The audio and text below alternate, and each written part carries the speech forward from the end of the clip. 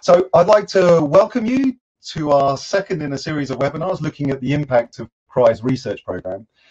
From the moment Alison founded CRY 25 years ago, she was dedicated to save young lives and to support families both after a young sudden death and when a cardiac condition has been identified. There are many ways that we provide this support at CRY, but one of the most important ways is through our research program. Research provides the evidence that we need to identify who is at risk, how to reduce those risks, and how to best support people living with these conditions. It's my pleasure to introduce to you our speaker tonight, Dr. Michael Papadakis. Michael joined CRY in 2007 as a research fellow. He's played a key role in many of the most important studies we have conducted over the past 10 years, both as someone doing the research, but also now supporting CRY research fellows as their supervisor. He is one of the CRY consultant cardiologists at the CRY Center for Inherited Cardiac Conditions at St. George's, and he also has had a number of prominent international positions and is the president-elect of the European Association of Preventative Cardiology. One of the great achievements in recent years has also been establishing a master's course in sports card cardiology at the University of London, helping to educate and promote the importance of cardiac conditions in young people both within the UK and internationally. I'm now going to pass you over to Michael to talk about how CRY's research has impacted the investigation and management of individuals at risk of sudden cardiac death.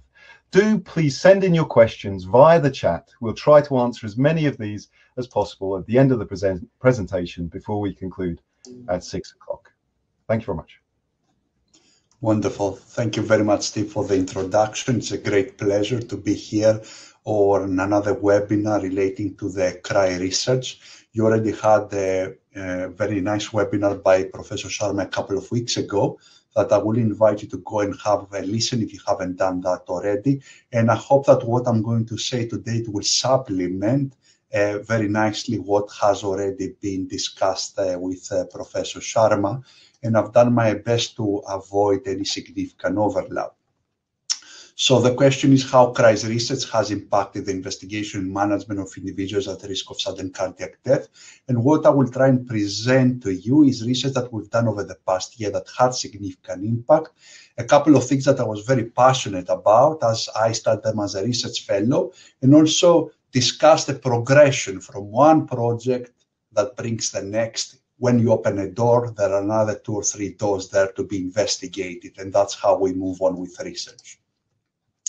So CRY has created an amazing resource, and that amazing resource provides the, uh, the basic substance in order to promote uh, the research and answer the questions that need to be answered for our families. So they are assisting us with a big NHS clinic that we run at St. George's Hospital, where we see more than 4,000 individuals annually with inherited cardiac conditions.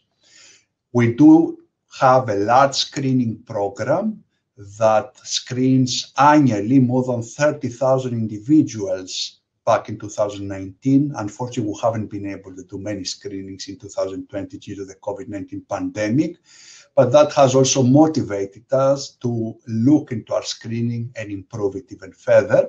And we have also the big cardiac pathology center that cardiac risk in the young supports with Professor Mary Sheppard that accepts about 200 uh, hearts annually. So the combination of those three uh, databases provides us amazing material in order to try and do research and improve prevention of sudden cardiac death.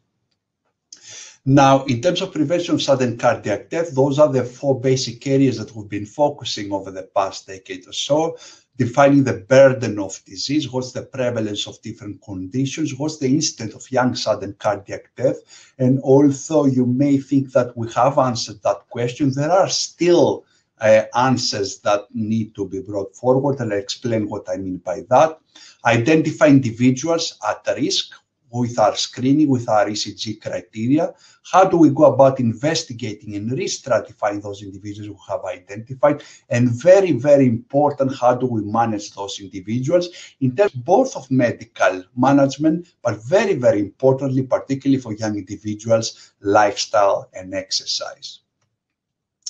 So let me start with the burden of sudden cardiac death in the young. It's not really that long ago, and that's 1995 when CRY was first created by Alison Cox, that we were quoting about one sudden cardiac death per week in young people. So it wasn't considered a major issue.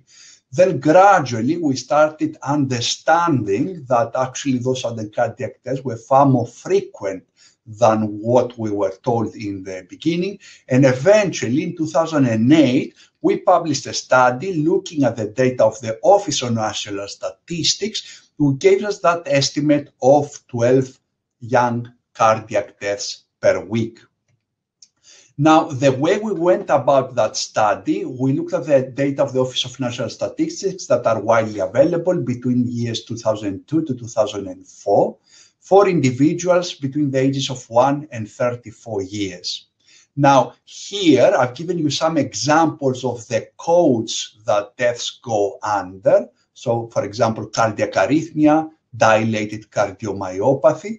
And we try to look at those codes in detail and classify them to different classes that you see here that will represent cardiac deaths with a normal autopsy or normal postmortem, what we will call sudden arrhythmic death syndrome or SADS, and I'm sure you will have heard this term already, then classify them to uh, sudden cardiac deaths who had a structural heart disease like the cardiomyopathies, sudden cardiac deaths that were a bit more non-specific in terms of not giving an exact cause of cardi of the cardiac death that caused the death. And then for the first time, we also included class B, where were classified as possible cardiac deaths. Because it's well established that sudden cardiac death and ion channelopathies or even cardiomyopathies can manifest as an epileptic fit, as an asthmatic attack, an unexplained drowning, uh, or, or, uh, or even a road traffic accident. So we try to include as many deaths in class B and I'll explain how we use them. And the result of that study, which was published some time ago, was that in terms of definite cardiac deaths, our classes A1, A2, A3, who had an incident of 1.8 per 100,000 per year, which translated to about eight young cardiac deaths per week. In terms of the possible cardiac deaths, we had a similar prevalence. So the way we came up with the 12 young sudden cardiac deaths a week was adding eight and then taking about 20% as a modest proportion of those deaths that may be attributable to cardiac and going to 10. And then we accounted obviously for Scotland and Northern Ireland in order to get to number 12 for the United Kingdom. And I think that was a powerful uh, message in terms of the impact of sudden cardiac death in uh, the young individuals. Now, regarding the causes of cardiac death, you can see that we've got SADS that accounted for about 13%. Then we've got the heart muscle conditions, the cardiomyopathies that accounted for about 25%. Myocarditis, 11% inflammation of the heart because of a viral infection, which is particularly relevant as well during the COVID-19 pandemic. And then look, we had a significant proportion of about 30, 35%, almost a third of the cohort that we accounted to coronary artery disease, essentially. And that may seem a bit strange to you as coronary artery disease is expected in older individuals. And I will explain why that may be the cause. Now, what we've done on this occasion, we did a second study and we said, okay, let's go back 10 years onwards, look at exactly the same data from the Office of National Statistics with exactly the same categories as we've done before and see whether there has been any change in the incidence of sudden cardiac death. And the results we find is that the incidence has reduced a bit from 1.78 or 1.8 per 100,000 to about 1.6 per 100,000. This is statistically significant. It is a small difference, but there is a difference there. The same goes for the possible cardiac death from 1.8 to 1.6 per 100,000 per year. Now, obviously, we need to look at those results with caution but they may potentially be explained by the fact that we generally do more screening. And as I said, now we screen more than 35,000 indiv individuals per year. We also have improved the referral pathways for, for families with an inherited cardiac condition. And there is now that chapter 8 of the National Health Service that recommends referral to a specialist center when a sudden cardiac death occurs or when inherited cardiac condition is suspected. We definitely have better management of conditions in the young, and we also have improved emergency care, including automated external defibrillators. However, the main point I wanted to make regarding the impact of uh, uh, the CRY research is relating to the causes. So this is the pie chart that you've seen already from 2000 to 2005, and this is the pie chart from 2011 2014. And what you can clearly see that the incidence of SADS has dramatically uh, increased from 13.5 to 28 percent. The incidence of cardiomyopathies has significantly reduced, as has the incidence of what we will assume or presume to be coronary artery disease. Okay, so that may mean two things. One thing is that the causes of the sudden cardiac death in the young have changed, which I have to say I doubt, or there has been an influence on some sort of how we classify deaths. And I think that becomes quite clear when you look at the referrals in the CRY cardiac pathology laboratory that is run by Professor Sheppard. And before really 2007 and before CRY went on and supported that effort, there were small number of referrals, but since then the referrals have gradually increased. I put there up to 2014, but the trend is upward for the rest of the years. The other thing that you can see is that SADS sudden arrhythmic death syndrome forms a significant proportion and an increasing proportion of the diagnosis that Professor Sheppard makes when she has a heart from a sudden cardiac death. Now, the other thing I wanted to highlight to you is that if you look the absolute numbers that our second study demonstrated, and if I cross here a line around the 100 uh, mark in the diagnosis that Professor Sheppard makes, you can clearly see that we're potentially underestimating the impact of SAD from the ONS data, as Professor Sheppard, for example, in 2012, identified almost 120 SAD deaths, but only 19 were reported from the Office of National Statistics. And that demonstrates that there is a lot of work still to be done in terms of educating pathologists regarding the underlying causes of sudden death and ensuring that every victim gets a detailed and accurate pathology that will identify the exact cause of death. And you may wonder, well, is that important? And the reality that's extremely important. Now, we are not surprised about the differences uh, that uh, Professor Sheppard's research has done because we've known from 2013, from this study that was published, that actually it's particularly important to get it right because most of the time, or a lot of the time, we get it wrong. So what happened here, we looked at 158 consecutive cases of sudden cardiac death where the general pathologist in the light blue and Professor Sheppard in the dark green looked at the same heart and classified the cause of death.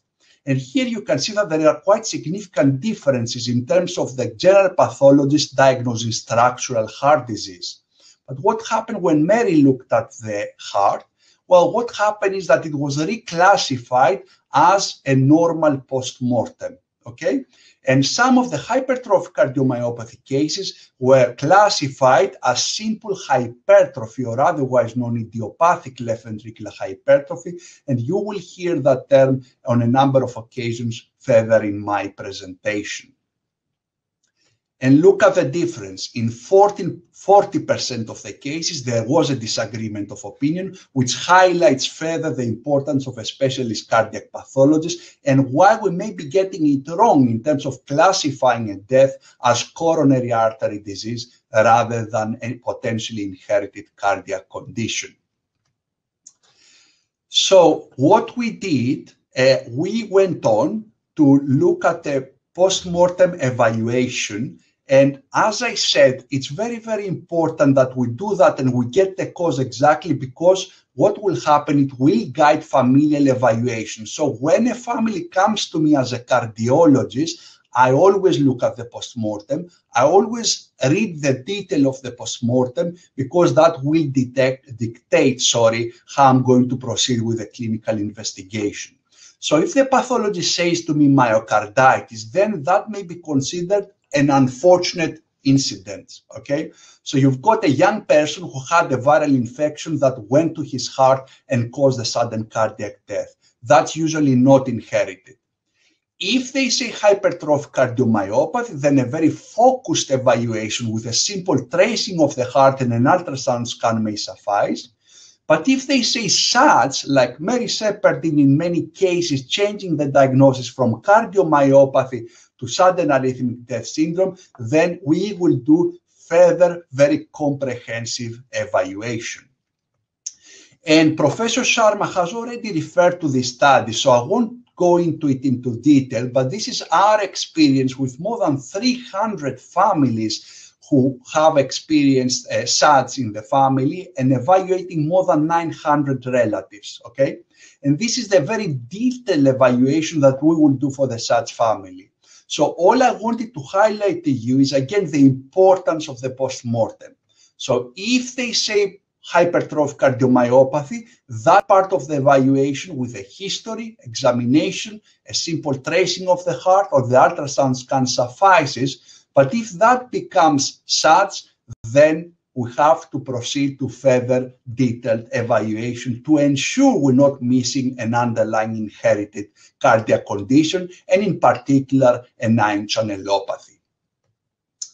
So all those questions uh, that we're finding uh, prompted further research, and this is a project I'm particularly proud of because we've started it with Professor Sharma when I was actually one of his fellows. So we were looking at all those families that were coming in our CRY inherited cardiac conditions clinic, and some of the postmortems did not make sense to us.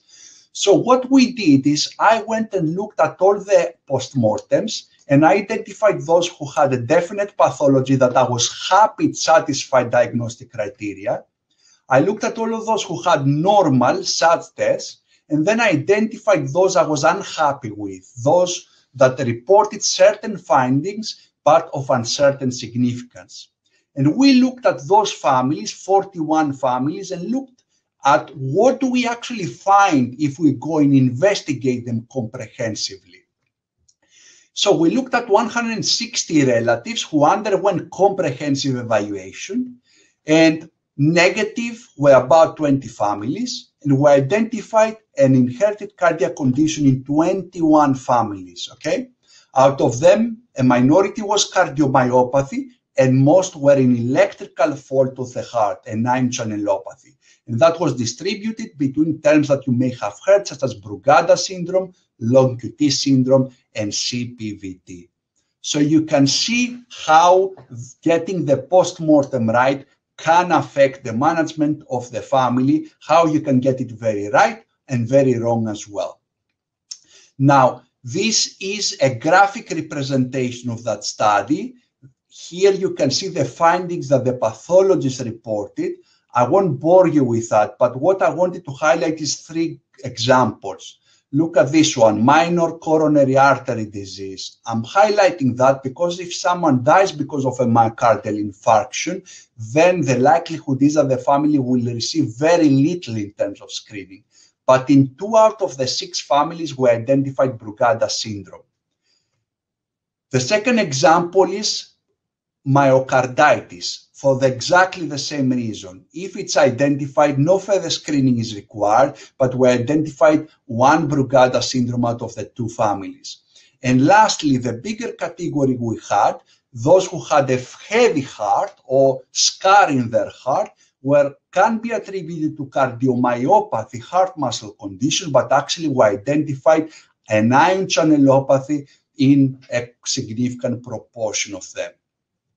The last thing I wanted to highlight about this study is the impact that the CRY research has internationally as well, okay? Because look at this figure here, and look at the figure that was produced in Australia where they did exactly the same study in 59 families. Okay, they identified exactly the same results. They had the same conclusions and they're now following exactly the same principles of investigating families after a sudden cardiac death. Moving on, but in the same sort of theme, and that's what I meant when I was trying to say that we open a door and find some answers, and then we've got another three or four doors and another three or four questions now that we have to answer. So what happened next is went and looked at those heavy hearts, the last bar I demonstrated to you earlier. And we asked the question, is everyone who has a heavy heart at postmortem, what we will call hypertrophy, a form of hypertrophic cardiomyopathy or not? And that's particularly relevant because I've told you already that if it's hypertrophic cardiomyopathy, we've got limited screening. If not, we need to do more extensive evaluation. And the results of the study by Gerardo Finocchiaro is that actually in a third of cases, we will identify an inherited cardiac condition, but zero hypertrophic cardiomyopathies. Okay, so again, ion channelopathies, accessory pathway, and one dilated and one arrhythmogenic cardiomyopathy. So what does that tell us? It tells us that a heavy heart does not represent classic hypertrophic cardiomyopathy. So again, we need to be very careful when we interpret the postmortem. And those sort of individual families require in-depth evaluation, almost like a SADS family. And that's a very important message. And that's the practice we have adopted now in our clinic.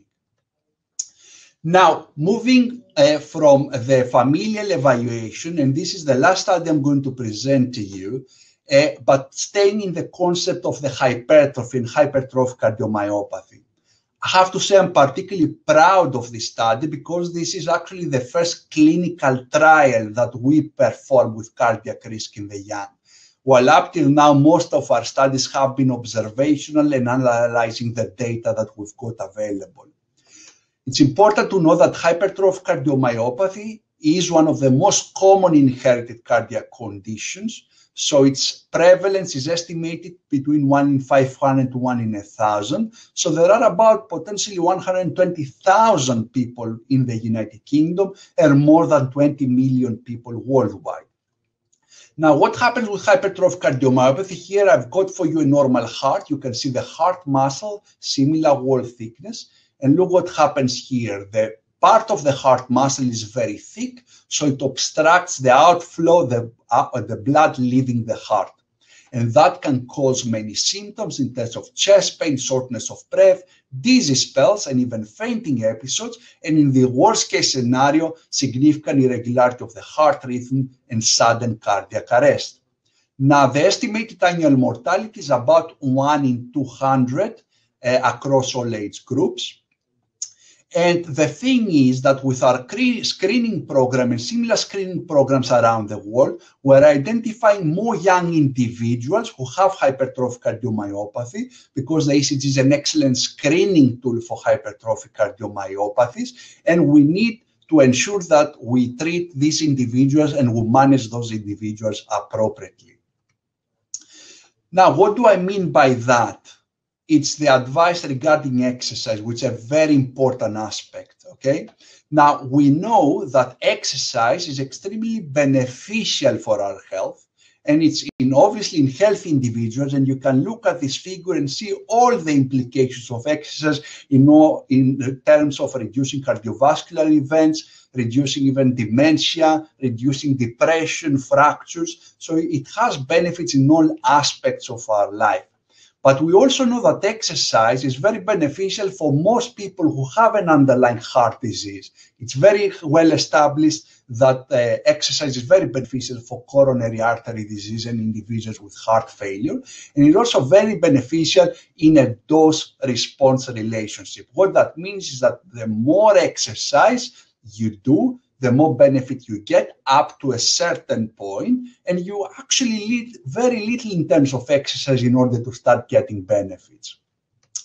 However, the problem that we've got with hypertrophic cardiomyopathy, and now put that in the context of identifying more and more younger individuals, is that we had evidence from the United States which demonstrate that actually hypertrophic cardiomyopathy is one of the major causes of sudden cardiac death in athletic individuals.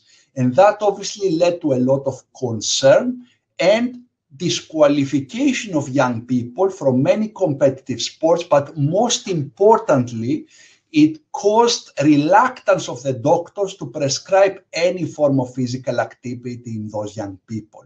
And if you think about it, if you identify a young individual at the age of 20, the last thing you want is to get him sedentary as that potential individual has more 60, 70 or 80 years of life to live and it's important that they don't develop other conditions such as coronary artery disease later in life.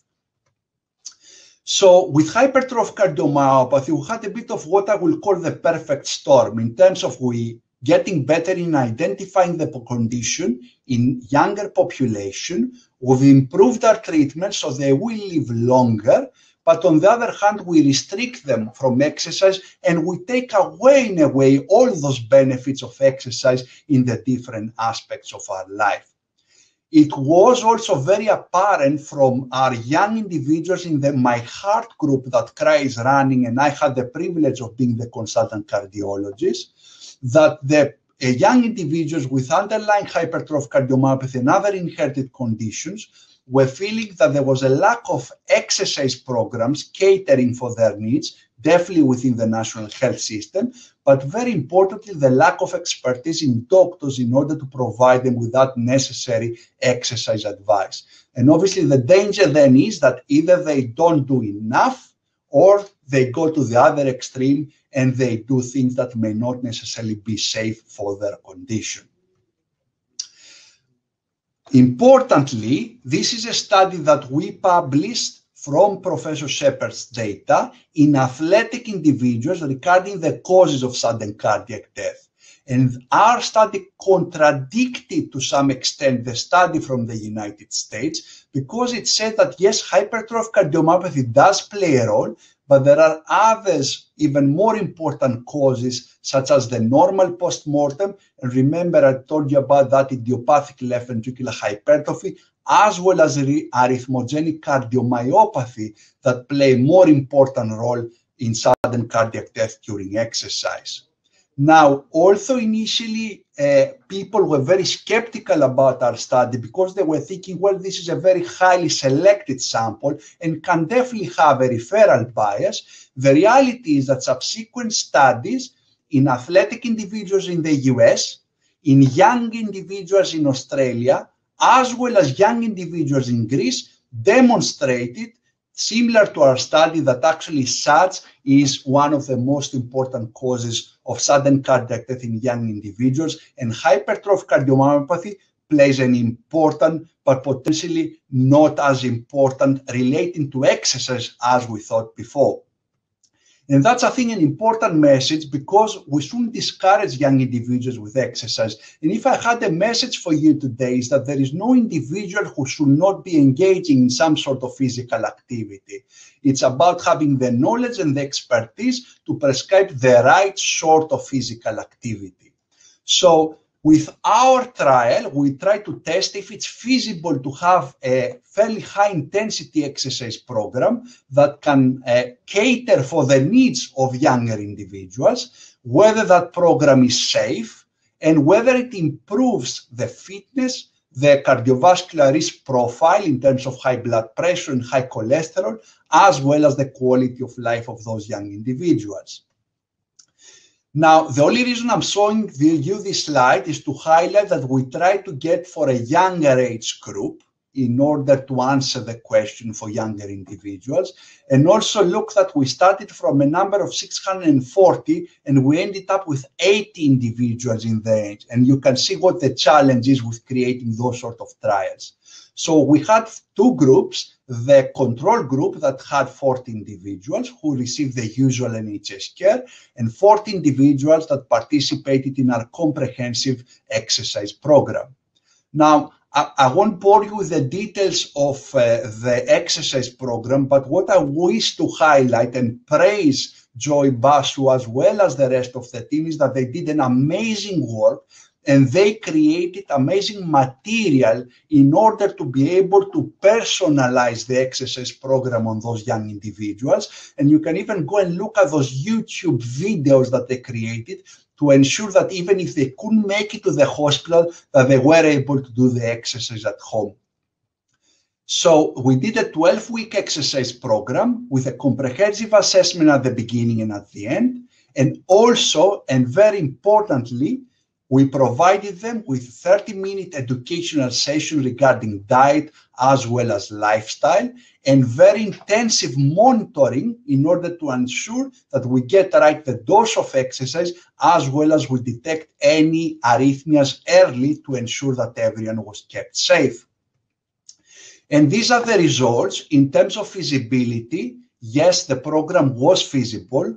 Uh, we had compliance of 83%, which if you compare it with the usual compliance of cardiac rehab programs, which does not exceed 50 to 60%, was excellent, okay? The acceptability of the program was very good, and the people were very satisfied with the information and the exercises that they were offered.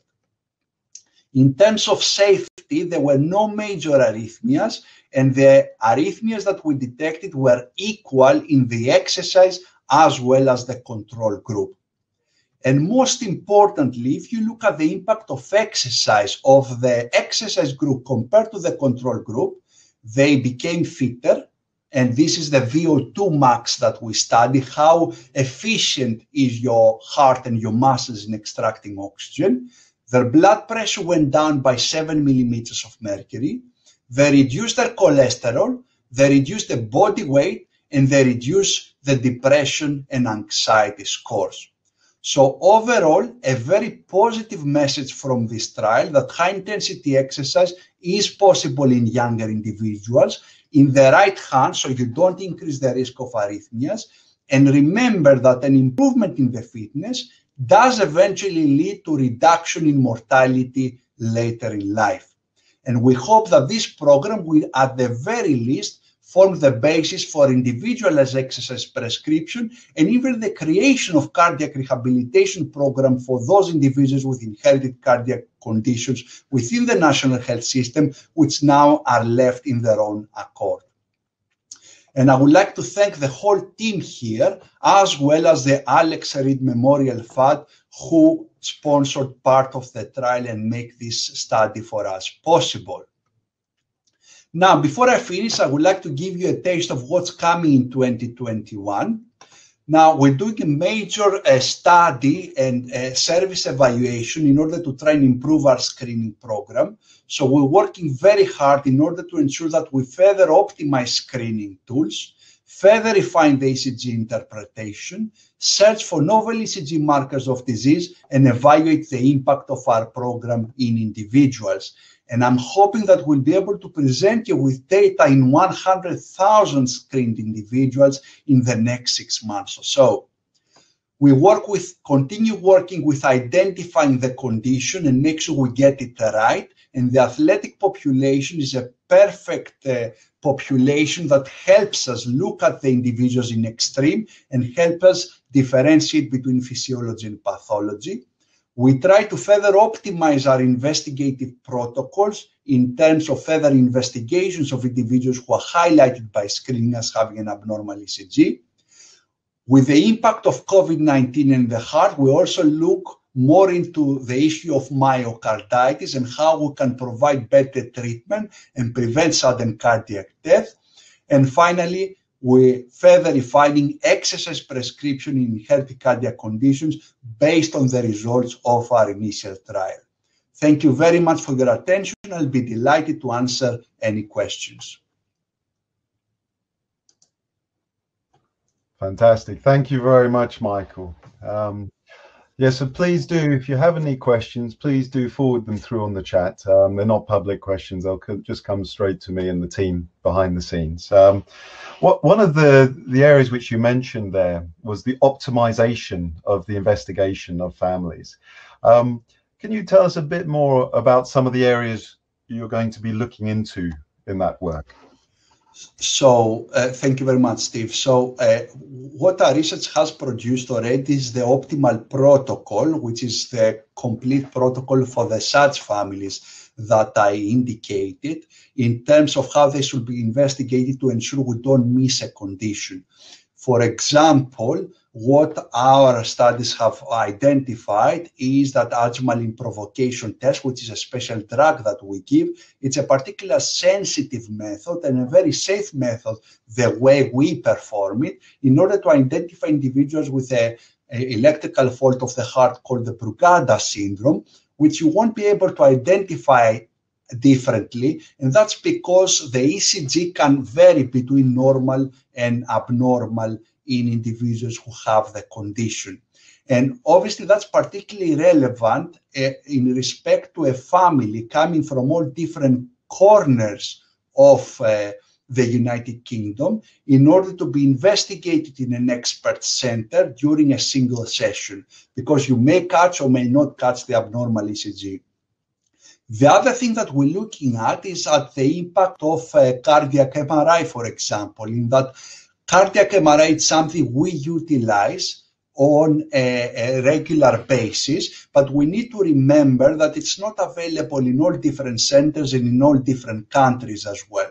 So we try to ensure that we use cardiac MRI when it's really necessary, and we try to look at how, when and how and what sort of protocols we use in order to optimize the value of a relatively expensive and difficult investigation in the context of a family with sudden cardiac death or sudden arrhythmic death syndrome. For example, you saw that for the families that we've got a SCAR, or that idiopathic left ventricular hypertrophy, the cardiac MRI was particularly helpful in excluding an underlying cardiomyopathy before we're able to make a diagnosis of uh, an ion channelopathy. We also know that potentially cardiac MRI may be more useful in slightly older individuals rather than adolescents who are unlikely to have developed the full a blown picture of the condition. So those are the things we're looking at.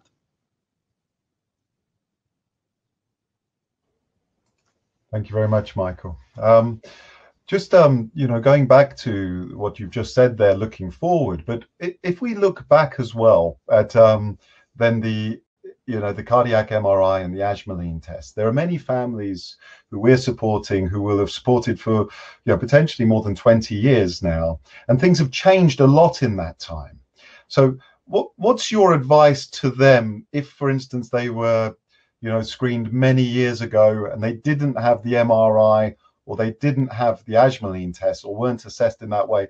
Would there be um, if everything was cleared 10 years ago? Um, the, the, the family and the siblings were reassured. W would you be encouraging them maybe to come back into referral procedure? I, think, Steve, this is a difficult question because we also need to be pragmatic. And obviously, the last thing I will want is to uh, worry families that they had a death many years ago. They've been investigated, they've been reassured. So I think the first thing to say, which is the thing that I always say to the families that we see here, whether they've been identified or even not identified with the condition, is that if you develop any symptoms that cause concern, whether that's chest pain, new shortness of breath, palpitations, dizzy spells, and definitely fainting episodes, then in the context of the family history, please do not ignore it you need to have a bit of higher level of uh, uh, alert, if you want, to sensitivity compared to someone who has no family history of sudden death. And as I said, that's exactly the advice I see to the families that we see in our clinic. We perform a very comprehensive evaluation and we're unable to identify anything because we do need to reassure the families, but we also, it's important that we recognize our limitations. Now, if a family is particularly concerned, and indeed if the screening was 10 or 15 years ago, uh, there is a high probability that some of the investigations that we do these days, whether that's the high leads or the special ECGs we do in the test for Brugada syndrome, or potentially a cardiac MRI may have been judged to be necessary today, which was not 10 or 15 years ago. So if they're particularly worried, then they can go and discuss it with their GP, or if the you know the GP is in an impossible position of offering an opinion, that will be perfectly understandable. They can either contact us or get their GP to contact us, and we can try and provide them with uh, advice. Thank you very much, Michael. Um, one of the questions, which is obviously is um, relevant right now, especially, is the, um, the, the overlap, you know, potential with COVID and sudden cardiac death. I I know we've talked about that a bit about some research around that area, and of course, Mary Sheppard is in a position where, um, you know, she'll be more aware of what what can happen. So, is there anything you can tell us about that? I know we've done some webinars on that earlier on in the the year, but is there been is there anything you could share with us about that?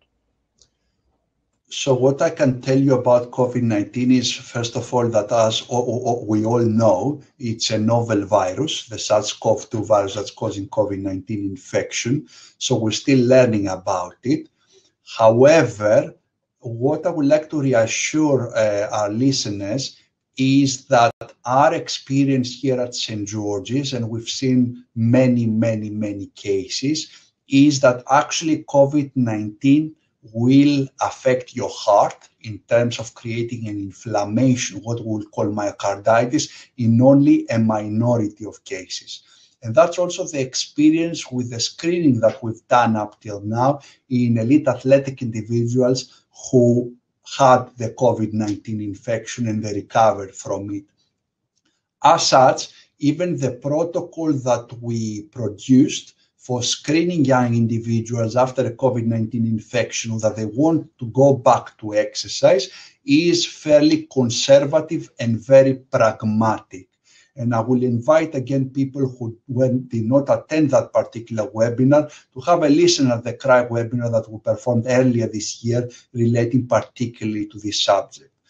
However, on the other hand, as I said, we're still learning about it, and we have discussed on a number of occasions, Steve, because I believe that our screening program uh, provides a unique opportunity to look at the impact of COVID-19 because obviously the benefit that we will have as CRY is that we have a number of individuals that have been screened already so we know what their ECG looks like and we could potentially try and get a new ECG and a transthoracic echocardiogram, and ultrasound scan after they have recovered from the COVID-19 infection. And if we're able to do that in big numbers, then probably we'll be able to provide some very useful uh, results for uh, uh, to inform us about the impact of COVID-19 in the heart.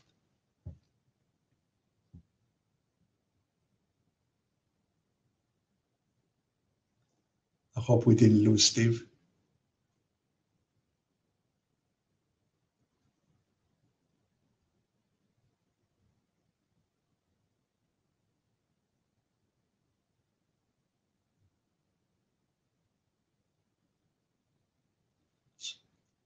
I think because we have have lost Steve a bit, I'll go on and read some of your questions.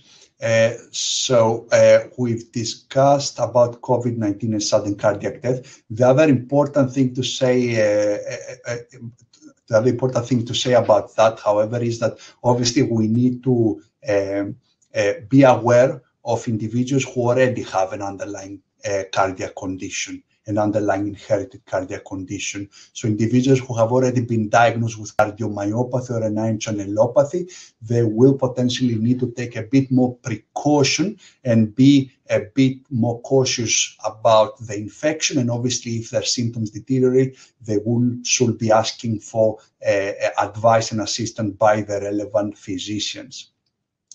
And then I've got another question with the 41 male cases with uncertain autopsy results that were then assessed for familial causes. There were 20 with no familial cause. What was the conclusion for those cases? Does the cause remain unknown? Any speculation on what the cause could be? That's an excellent question. And that's actually our experience even with our bigger cohort. So even the big study of the 300 families were actually able to identify an underlying cardiac condition in about 40 to 45% of the families. So the other 50 to 55% will leave our clinic after having comprehensively evaluated with no inherited cardiac condition having been identified. Now, there are a number of explanations for that. Uh, the, the, first potential explanation is that as you realize, if you have an inherited cardiac condition, ideally, if someone dies, the, the, uh, the ideal scenario is that you screen mom and dad from where they got the, gen, uh, the DNA. In some of those families, we're unable to screen mom and dad, so potentially we may be screening mom and another sibling. And if that was the carrier, then it won't be able to identify that condition. The second possibility is that all inherited cardiac conditions need to start from someone. And that's what we will call de novo variants, in that the deceased had a genetic defect that caused the inherited cardiac condition, but neither mom, dad, or any other family member will express that disease. So if they were to have children in the future, for example, then they may have been able to pass the condition, but no one from the parents or siblings will express that condition. The other thing that we have to also understand is that a, a, a cardiac postmortem is quite challenging for example, one of the most common conditions that we identified during our screening is what we call WPW or an accessory pathway, an extra pathway that connects the top with the bottom chambers of the heart. Now, this is impossible for a cardiac pathologist to identify simply because they will have to spend hours upon hours upon hours dissecting in extreme detail the heart, and that's practically not possible. And finally, we of course have to admit that this is a very challenging field. And because it's a challenging field, there are things that we don't quite understand yet. And that's what I meant when I say that it's important to get the balance right of reassuring the family that we have investigated them as comprehensively as possible, while on the other hand, explaining that if something new comes up instead of symptoms, they should not ignore it and still come back to us for further investigations.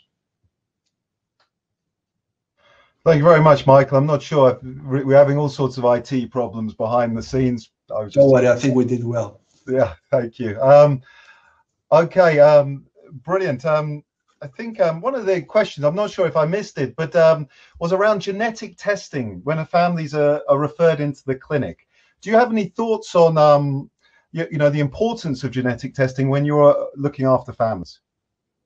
Yeah, I mean, genetic testing, obviously, we've got genetic conditions, so it's particularly important in the evaluation of the family. However, I would like to highlight that at this point in time, with the knowledge and technology that we've got regarding genetic testing, clinical evaluation remains paramount. And it's the clinical evaluation that will give us the majority of diagnosis in the families that we see in our clinic. However, that doesn't mean that we don't continue uh, uh, researching genetic testing, and also we will use it in particular circumstances in clinical practice. For example, uh, it's particularly important both for clinical purposes as well for research purposes that we try and collect genetic material from the deceased. Uh, and that material can be used if later on the pathologist makes a diagnosis of a heart muscle condition, such as arrhythmogenic cardiomyopathy.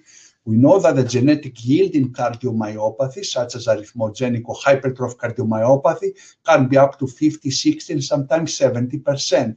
So that's a very good use of genetic testing because if you identify the condition of the uh, disease heart, and you test his DNA, and you identify the variant that's causing the condition, then you can do genetic testing in mom and dad and potentially even avoid the clinical screening, assuming that genetic testing can happen in a timely fashion, which is not always the case.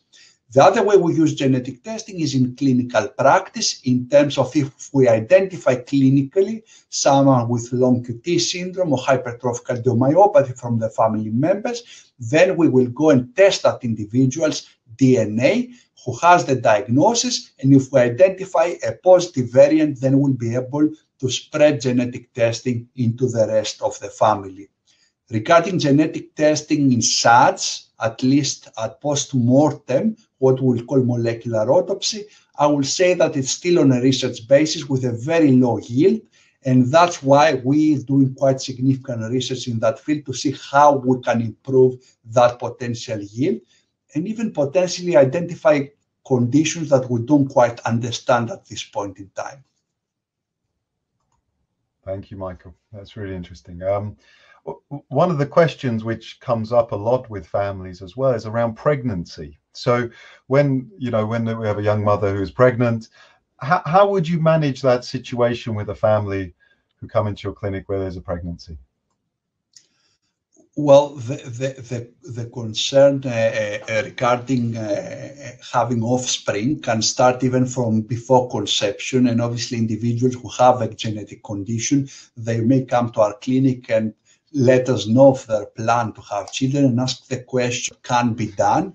And we can refer them to specialist genetics clinics where they can meet counselors and geneticists and get the right advice as to how that process can work for that individual family. If we've got someone who falls uh, pregnant with a genetic condition, then depending on the condition, we will most definitely be able to manage things. Most individuals who have a genetic condition, and in particular cardiomyopathy, they will have already received advice if there are concerns regarding a potential pregnancy in terms if they've got a very weak heart, for example, that we're worried it may not cope. But if that's not the case, then we will manage those individuals. Our advice for most uh, uh, uh, pregnant ladies is that they are managed in a center that there is the obstetrician as well as the specialist cardiologist who can manage the condition throughout the pregnancy, during the delivery, and the immediate period after the delivery. Thank you, Michael. Um, I think one of the other challenges, um, and I'm not sure if you touched upon this, was when when we don't find anything, when the autopsy is normal and all the investigations are normal, either if there's been a tragedy or if there's been a cardiac arrest and someone is normal and they've had all these investigations we've done that one. Okay, thank you very much, Michael. Cheers. Well, I think um, what would you say, just looking back, the most important piece of CRY research that you've been part of, and why would that be? So uh, I, I, think in my mind, two things uh, stick in my mind which have had significant impact. Uh, the first one is all the uh, all the studies we've done with the interpretation of the 12 lead ECG because my view is, and that's evident by the fact that they have been incorporated in the ECG criteria that follow the gold standard now for the interpretation of the 12 lead ECG worldwide, not only in the United Kingdom. And I think the research that we've done through the CRY research program is paramount. Uh, it has made the ECG screening program possible by reducing significantly what we will call the false positive rate of the ECG. So people that are flagged up as having an abnormal ECG while they don't really have an underlying cardiac condition. And we've seen dramatic changes. We've seen false positives going down from 15% to 2 or 3% in individuals of white descent and respectively individuals of black descent from 25, 30%, which is not really manageable for a screening program, to 5, 6, 7%. So that has been an extremely important piece of research that makes screening possible. The other thing that is very close to my heart is uh, some of the studies that I presented today particularly looking at the exact cause of sudden cardiac death and ensuring that we get it right. Because unfortunately, there have been quite a few families that have been falsely reassured after a post-mortem that either there is nothing in terms of an inherited cardiac condition, and I'm sure, Steve, that you've seen a few cases during your time where you had a, death in the family and then five, ten years down the line, a second death which could have been prevented. Thank you very much, Michael. I think um, on that note, you, you, know, I'm really sorry for some of the glitches which occurred um, throughout this. It's very unpredictable. Um, I think I've been kicked off the internet for the first time in the last nine months, and it's happened to coincide tonight. Um, thank you very much, Michael, for, for joining us tonight, to, for answering questions. If you have any further questions, please do forward them through to us. Um, we'll be holding um, you know, many more webinars um, going forward with um, doctors who are working with CRY, with Sanjay, Michael, Mary Sheppard, talking more about specific projects. Um, I saw one or two questions there, which uh, I wasn't sure if we actually answered, looking at some of the longitudinal research we're doing um, going forward. Um, and we'll be looking to profile those over the next 12 months. So on that note, I'd really just like to say thank you very much to Michael for joining us tonight. thank you for all of all of you who have attended and just wishing you the best over the next uh, few weeks into the new year. Thank you very much. Thank you very much.